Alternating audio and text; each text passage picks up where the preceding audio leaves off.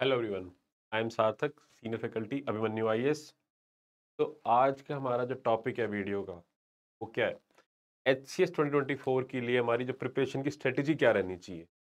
कौन कौन से टॉपिक्स पढ़ने हैं? सबसे पहले स्टार्टिंग में क्या करना चाहिए? कितना टाइम लगाना चाहिए? डेली कितने घंटे देने हैं? क्या शेड्यूल होना चाहिए? दीज काइंड ऑफ़ क्वेश्चन आज मैं आपके सामने वीडियो के अंदर इन क्वेश्चन का आंसर देने के लिए आपके लिए ट्राई करूँगा कि आपको इन क्वेश्चन का आंसर मिले। तो without wasting any time let start our video तो सबसे पहली चीज़। What should be your first step आपका सबसे पहला स्टेप क्या होना चाहिए प्रिपरेशन का? तो सबसे सिंपल आंसर मैं आपको दूँगा। फ़र्स्ट थिंग लोग नॉर्मली क्या करते हैं? नॉर्मली जो बंदे हैं, सब प्रिपरेशन के लिए एच ट्वेंटी ट्वेंटी फोर के लिए एच सी एस के लिए, या किसी भी लेट से सिविल सर्विस एग्ज़ाम के लिए भी। हर कोई पहले आपको बोलेगा कि सिलेबस देखो सिलेबस देखो। But what I will gonna suggest you कि सिलेबस देख के ज़्यादा कुछ चीज़ें नहीं समझ में आने वाली। सिलेबस के टॉपिक्स भी देख लोगे, लेकिन तब भी आपको कुछ रिलेट नहीं कर पाओगे। बिकॉज़ अभी मैं सिर्फ़ बिगिनर्स की बात कर रहा हूँ स्पेशली जो बिल्कुल स्टार्ट कर रहे हैं स्क्रैच से। उनके लिए तो कोई टॉपिक जब तक नहीं पढ़ोगे सिलेबस का पार्ट ही नहीं समझ में आएगा कि सिलेबस किस टॉपिक के बारे में बात कर रहा है, कैसे रिलेट करना है। तो पहला स्टेप आपको सबसे पहला होना चाहिए the previous year paper analysis previous year paper analysis this should be your very first step और सबसे सिंपल इसके अंदर भी अगर आप मुझसे पूछोगे, सर प्रीवियस ईयर पेपर भी कौन से वाले प्रीवियस ईयर पेपर तो ज़्यादा चीज़ों को नहीं कॉम्प्लिकेट करना। जो तो रिसेंट अभी अपना एचसीएस हुआ है ट्वेंटी थ्री के अंदर कनेक्ट किया गया था, मई के अंदर, आप सबसे पहले उसका भी और प्रिलिम्स का पेपर इसमें सबसे पहले कौन से इसके? प्रिलिम्स के पेपर इससे स्टार्ट करेंगे आप। राइट? प्रीलिम्स के अंदर आप देखेंगे जीएस वन जीएस टू दोनों। सबसे पहले स्टार्टिंग में GS one then GS two which is C SAT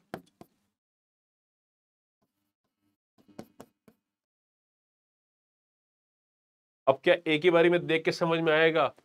I can surely say अगर आप बिगिनर हो तो उस चीज़ में भी ज़्यादा क्लैरिटी नहीं आएगी। हाँ बट कुछ ना कुछ डेफिनेटली आपको चीज़ें समझ में आनी स्टार्ट हो जाएँगी। ये अच्छा इस टाइप के क्वेश्चंस आ रहे हैं। इस इस सेक्शन से आ रहे हैं, इसी सब्जेक्ट से क्वेश्चंस पूछे जा रहे हैं। तो हमें कैसे प्रिपेयर करना है? अब मैं आपके लिए थोड़ी चीज़ें सिंपल करते हुए लाइक अगर एस ट्वेंटी ट्वेंटी थ्री का आप देखें एस ट्वेंटी ट्वेंटी थ्री के अंदर देखें तो यू विल फाइंड एयर कि यहाँ पर हरियाणा वाला जो पार्ट था, उसने कम बैक किया। हरियाणा के जो जीके उसमें चाहे करंट हो या चाहे स्टैटिक हो, इन दोनों का क्या हुआ? कम बैक हुआ। बहुत सारे क्वेश्चन आए थे इसमें से। यहीं अगर इसके लास्ट ईयर से आप कंपेयर करें तो वहाँ पर काफ़ी कम क्वेश्चन पूछे गए थे, हरियाणा स्पेसिफिक क्वेश्चन होते हैं बट यहाँ पर दोबारा कम बैक हुआ तो हमें यहाँ से क्या सीखने को मिलेगा कि यार ये भी बहुत इंपॉर्टेंट है। You need to prepare this very well as well Haryana G K भी प्रिपेयर करनी है आपको अच्छे से। और वो बनता भी है। जब एचसीएस का एग्ज़ाम है तो हरियाणा स्पेसिफिक पार्ट डेफिनेटली पूछना भी चाहिए। वरना वो एचसीएस कैसे वो इसको तो बहुत अच्छे से प्रिपेयर करना है। ये आपको कहाँ से पता लगा? क्या आपको सिलेबस देख के पता लगा? नो ये आपको प्रीवियस ईयर पेपर देख के समझ में आया ट्वेंटी ट्वेंटी थ्री का पेपर अब यहाँ पे एक और चीज़ इंपॉर्टेंट है कि क्या सिर्फ़ एक साल का पेपर देखना? नो नॉट एट ऑल आपको पिछले कम से कम भी टू थ्री ईयर्स के पेपर तो देखने ही देखने I would say three years तीन साल के तो देखने ही देखने बिकॉज़ तीन साल से पहले का अगर आप ट्रेंड देखेंगे, ठीक है? अब थ्री ईयर्स भी नहीं I would say three two five years पिछले पाँच साल के, जो भी पिछले पाँच पेपर प्रीलिम्स के पेपर सारे के सारे एक बार देखने बनते हैं। इसको आप रिवर्स ऑर्डर में देखें।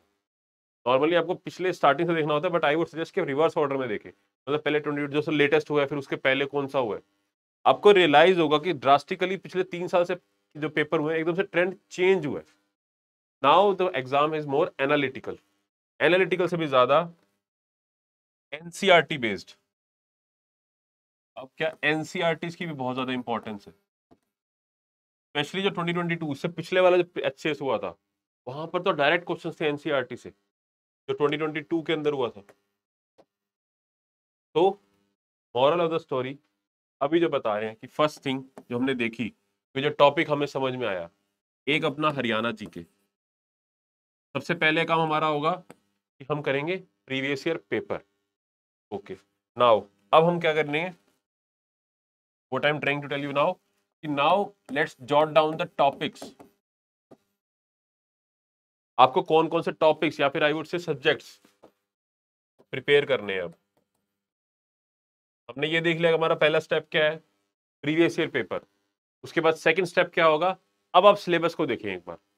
Now you can look into the syllabus syllabus क्या कह रहा है आपको? अब उसके बाद आएँगे हम टॉपिक्स पे। जब आपने सिलेबस देख लिया एक बार, अब आपको देखना है कि कौन कौन से सब्जेक्ट्स प्रिपेयर करने कौन कौन से टॉपिक प्रिपेयर करने तो एक तो हमने देख ही लिया फ़र्स्ट हरियाणा स्पेसिफिक पार्ट इसको आप सिंपली हरियाणा जी के बोल देते हैं। हरियाणा जी के जिसके अंदर करंट स्टैटिक दोनों आ जाएँगे।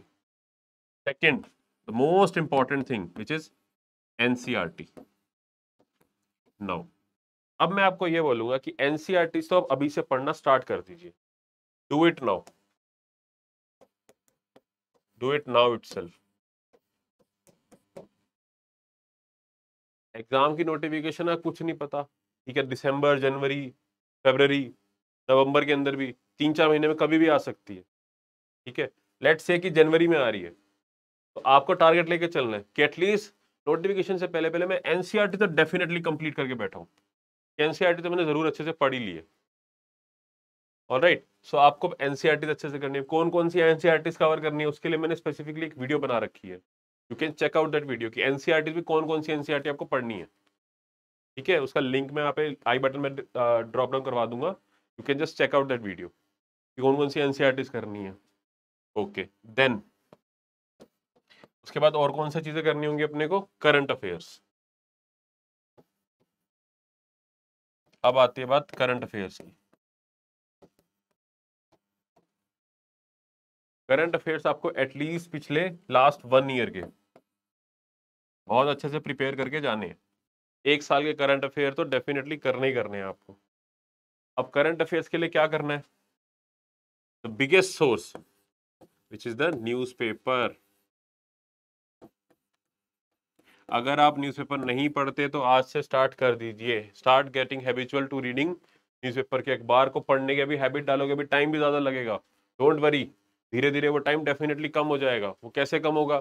आपको रेलिवेंट सेक्शंस पता लगते चले जाएँगे, क्या पढ़ना है न्यूज़पेपर के अंदर भी। और जैसे जैसे पढ़ते चले जाएँगे अंडरस्टैंडिंग इंक्रीज होती चली जाएगी। टॉपिक्स बहुत जल्दी जल्दी कवर करना स्टार्ट कर दोगे। बहुत जल्दी ग्रास्प करना स्टार्ट कर दोगे। तो न्यूज़पेपर को पढ़ना डेफिनेटली स्टार्ट कर देना चाहिए। आपके करंट अफेयर्स भी वहाँ से प्रिपेयर हो जाएँगे। आपके आंसर राइटिंग में बहुत हेल्प होएगी न्यूज़पेपर के अंदर। ओपिनियन जनरेट करेंगे। बुक्स पढ़नी भी ईजी लगेंगी न्यूज़पेपर पढ़ने के साथ साथ थोड़ा सा इंटरेस्टिंग भी लगता है न्यूज़पेपर को पढ़ना। ऑल राइट तो all these things will be covered by newspaper तो चौथी चीज़ आपकी अपनी न्यूज़पेपर होगी इसी के अंदर ही। ठीक है? देन जब इतना कर लिया, अब इसके बाद सबसे इंपॉर्टेंट स्टेप और सबसे ज़्यादा नेग्लेक्टेड स्टेप भी I would say the most important and the most and the most important and the most most section as well which is mock test अब आपका काम है इसके बाद मोक टेस्ट मोक टेस्ट भी लगाने। मोक टेस्ट की भी पूरी की पूरी इंपॉर्टेंस है। You need to realise the importance of mock test mock test देखिए आपको अपनी वीकनेसेस पता लगती हैं। क्या एनालाइज करेंगे आप? You will be able to analyse your weaknesses your weak areas by mock test सिर्फ़ वीक एरियाज़ वीक एरियाज़ भी सिर्फ़ सब्जेक्ट्स नहीं होते। कि कई बार क्या बंदा सिर्फ़ सिली मिस्टेक्स बहुत ज़्यादा कर रहे होते हैं। चीज़ें पड़ी हुई आती है, लेकिन सिली मिस्टेक्स की वजह से कहीं ना कहीं पीछे हट रह रहे हैं। तो वो चीज़ें कहाँ से पता लगेंगी? मॉक टेस्ट देके। तो मॉक टेस्ट की तो बहुत ज़्यादा इंपॉर्टेंस है, इसकी इतनी ज़्यादा इंपॉर्टेंस बताई जाए, उतनी कम है। अगला स्टेप आपका होना चाहिए मॉक टेस्ट जब इतना सब कर लिया, पढ़ाई वाला पार्ट पूरा कर लिया, आपने प्रीवियस ईयर पेपर एनालाइज कर लिए, उसके बाद आपको समझ में आया कि आप पढ़ने कैसे पढ़ना है। आपने सब्जेक्ट पढ़ने स्टार्ट करे एनसीआरटी पढ़नी स्टार्ट करी सबसे पहले। साथ साथ आपने न्यूज़ पेपर पढ़ना स्टार्ट किया। ऑल ये जब सब चीज़ें कवर हो गई उसके बाद आपका मोक टेस्ट वाला पार्ट होगा। ऑल राइट क्या अभी भी आपकी प्रिपरेशन स्टार्ट कवर हो गई है क्या सिर्फ़ एनसीआरटी से प्रिपरेशन कवर हो जाएगी? नो एनसीआरटी के अलावा भी काफ़ी कोर्स पेंडिंग होता है।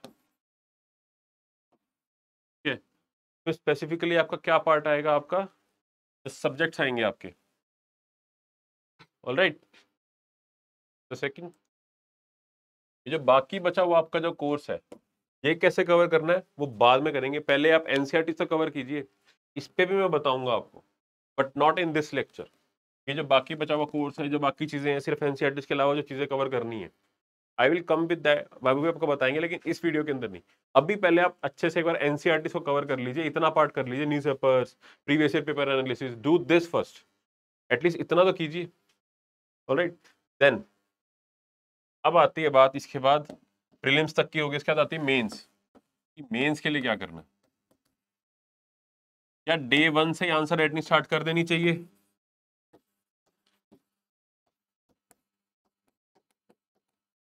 आंसर है no definitely no because you won't be able to do that in fact day one से आंसर राइटिंग नहीं स्टार्ट करनी है आपको. पहले आपको क्या करना है? फ़र्स्ट प्रिपेयर सम टॉपिक्स पहले थोड़ा पढ़िए. प्रिपेयर टॉपिक्स एटलीस्ट कुछ गेन कीजिए, थोड़ा सा हैबिचुअल हो ये पढ़ाई से। प्रिपेयर टॉपिक थोड़ा पढ़ने के बाद then you have to start the answer writing और फिर उसके बाद आंसर राइटिंग आपकी चलनी चाहिए डेली बेसिस पे।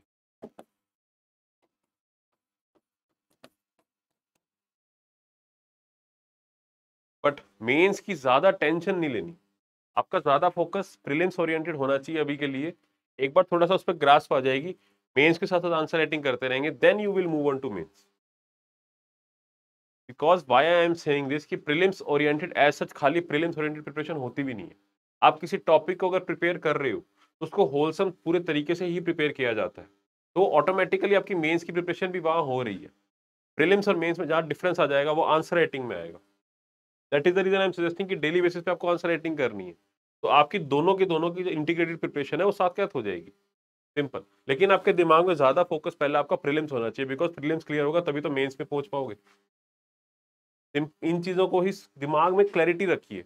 माइंड के अंदर एक क्लैरिटी रखिए क्या करना है फोकस होना चाहिए, कैसे करना है। चीज़ें बहुत ईजी हो जाती हैं फिर। प्रॉब्लम आती है जब हम एक हैफ एजर्ड मैनर में रेंडमनेस के अंदर कुछ भी करने लग जाते हैं। आपको वो नहीं करना। आपको इसी पैटर्न के अंदर चलना है। कि पहले सबसे पहले प्रीवियस ईयर पेपर ये मैं दोबारा रिपीट कर रहा हूँ। प्रीवियस ईयर पेपर राइट उसके बाद अपनी एन सिलेबस को देखना है एन करनी है।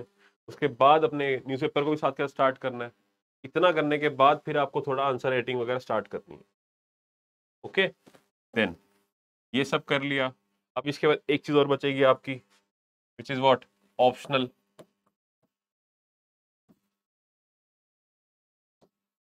पहला काम आप ऑप्शनल को चूज़ करना बनाइए। How to choose optional